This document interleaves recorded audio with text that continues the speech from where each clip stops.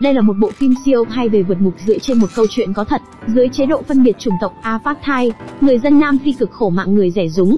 Nam chính Daniel và người bạn vì đấu tranh phân biệt chủng tộc, bị chính quyền thời đó phán quyết trung thân 200 năm, mà đã là tù nhân chính trị, vào tù sống cũng không bằng chết, cho nên ngay từ ngày đầu tiên vào tù, Daniel đã quan sát mọi thứ để lên kế hoạch vượt ngục. Sau khi suy nghĩ qua 200 cách đào tẩu, Daniel nhận ra tất cả đều đã thất bại. Anh hiểu rằng cần một giải pháp mà không ai dám, một thứ ai cũng muốn có nhưng nghĩ là không thể, đó chính là làm chìa khóa. Đêm hôm đó anh ta dùng một tờ giấy bọc lên ổ khóa, dùng tay in hình rồi dùng bút vẽ lại, như vậy đã có được khung hình ổ khóa. Tiếp theo cuốn tròn tờ giấy nhét vào lỗ khóa, sau đó nhét thêm một chiếc bút chì. Lúc rút ra tờ giấy đã bị gãy thành hai vết, đây chính là độ dài của chìa khóa. Bước thứ hai khó nhất là hình dáng của đầu chìa. Lúc ăn cơm bạn tù cố ý thu hút chú ý của cai ngục, Daniel sẽ nhân cơ hội nhìn lén chùm chìa khóa, cố gắng ghi nhớ rồi vẽ lại hình dáng một đầu chìa. Lúc chơi bóng Daniel giả vờ đi nhặt bóng bên hàng rào, thực ra là để nhìn một chìa khóa nữa. Thời gian xếp hàng chính là cơ hội tốt nhất để quan sát, anh dựa vào quan sát và ghi nhớ để sao chép lại. Ngày thứ 74 anh đã vẽ lại được cả chùm 15 chìa khóa rồi. Bước tiếp theo chính là làm chìa khóa. Dùng cái gì để làm chìa đây? Các phạm nhân trong tù phải lao động tại xưởng mộc. Daniel nhanh tay giấu vài miếng gỗ, sau đó nhét vào trong bình nước nóng. Vấn đề duy nhất ở đây là, mỗi lần làm việc xong cai ngục đều sẽ kiểm tra bình nước nóng.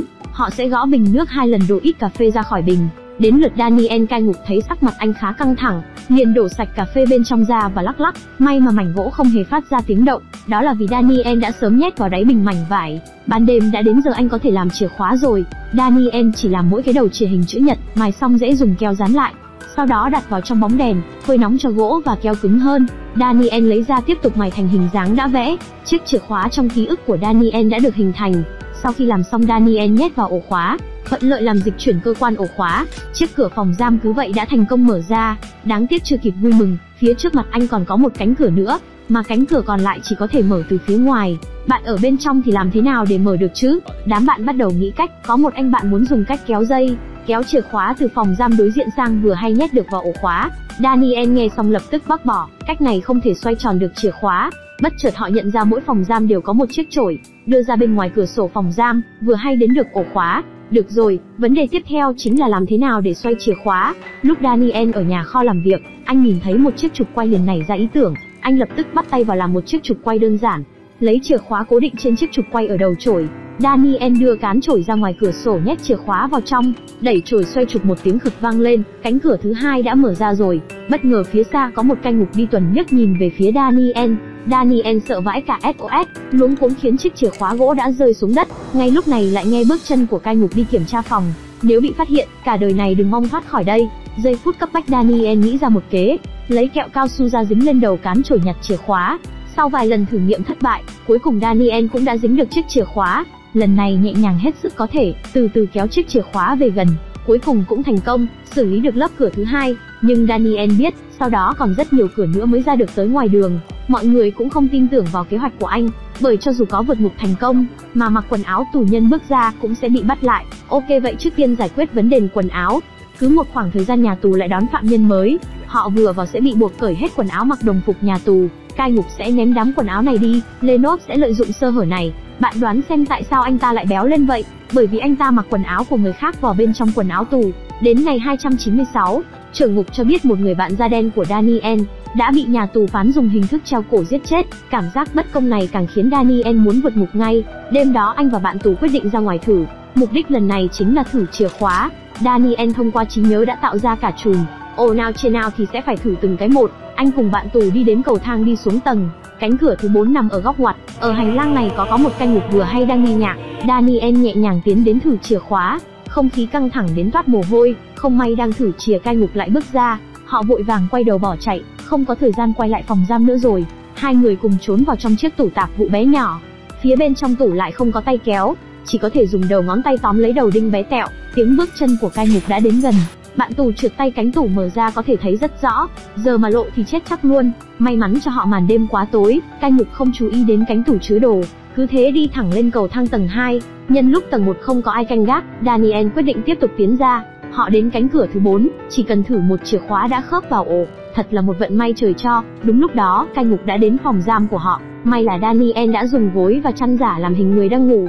Bên này Daniel đến cánh cửa cuối cùng, Họ thử rất nhiều chìa khóa nhưng vẫn không đúng, thời gian không còn, vì thời gian tuần tra của cai ngục sắp hết, họ đành phải quay về ngay, vừa quay về vừa phải khóa tất cả các cửa sắt lại, cả hai cật lực chạy thật nhanh, vừa về đến tủ đồ, thì đôi giày của cai ngục cũng lục cục ngay trên những bậc thang. Cai ngục nhận ra những vệt mồ hôi dưới đất, nhưng lại chẳng nghĩ ra đó là cái gì. Nhờ vậy mà hai thằng may mắn thoát nạn, về phòng vội vàng giấu chìa vào trong cốc đánh răng.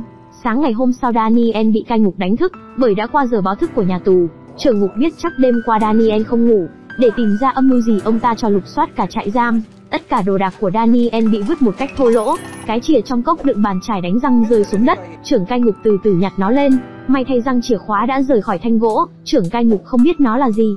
Daniel cầm lấy cái răng chìa khóa giả làm giá đỡ ảnh bố mẹ, tuy lần này không bị lộ, nhưng Daniel đã được một bài học về giấu chìa khóa, trong cái khó ló cái khôn, khắp mọi nơi trong nhà tù Daniel có thể giấu chìa khóa, hay là trong xô đựng bột giặt, chỉ có tù nhân mới dùng để giặt quần áo cai ngục không kiểm tra. Nhưng vấn đề lớn nhất là nhà tù có cửa điện không mở chìa được, làm thế nào đây? Bạn có nhớ Daniel hay ngậm kẹo cao su không? Anh tự khiến mình bị sâu răng, bác sĩ nói anh phải nhổ, vì vậy có cai ngục giám sát đưa anh ra khỏi tù.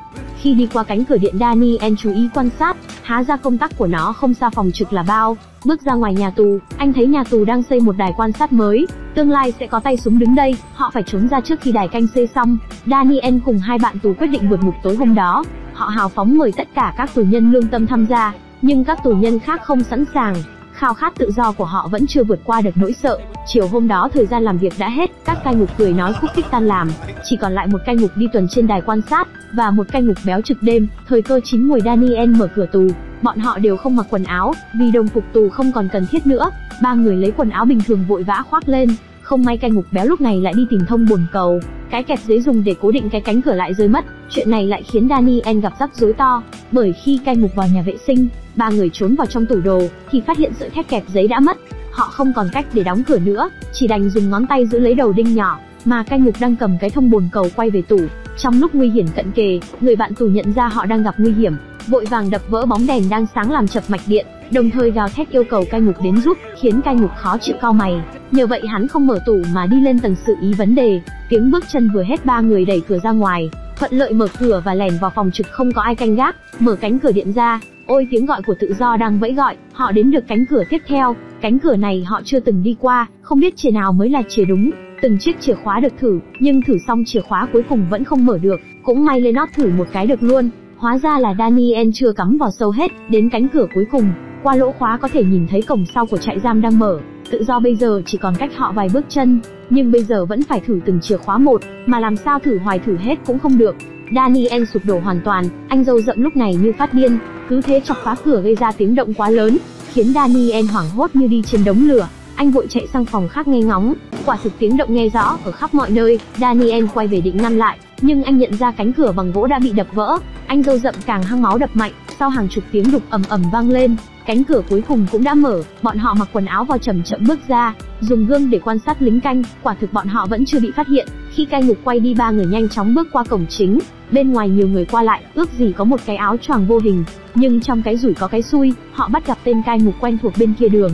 May làm sao hôm nay hắn mất cảnh giác, hoàn toàn không chú ý đến họ, đến nơi không có người liền chạy bán sống bán chết. Cuối cùng ba người cũng tìm thấy một chiếc taxi. Daniel dành hết số tiền dành dụm trong 400 ngày ở tù, trả tiền xe đi đến biên giới.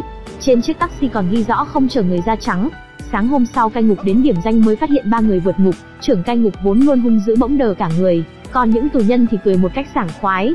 Ba con người đấu tranh cho hòa bình đã bị bắt hơn 400 ngày, cuối cùng cũng được tự do hạnh phúc. Đây là một câu chuyện có thật. Nguyên mẫu ngoài đời của Daniel là Tim Jenkin, một con người đấu tranh mạnh mẽ chống nạn apartheid. Sau khi đào tẩu với những nỗ lực đấu tranh không nghỉ, đã dẫn tới sụp đổ của chế độ apartheid năm 1992 và các bạn tù của anh cũng được ân xá toàn bộ. Phim kết thúc rồi cảm ơn các bạn nhiều nhé. Bye bye. Cảm ơn các bạn đã theo dõi hết bộ phim. Các bạn thấy sao về bộ phim này? Hãy để lại ý kiến bên dưới để Văn Anh biết nhé. Và đừng quên đăng ký kênh để ủng hộ mình nha. Bye!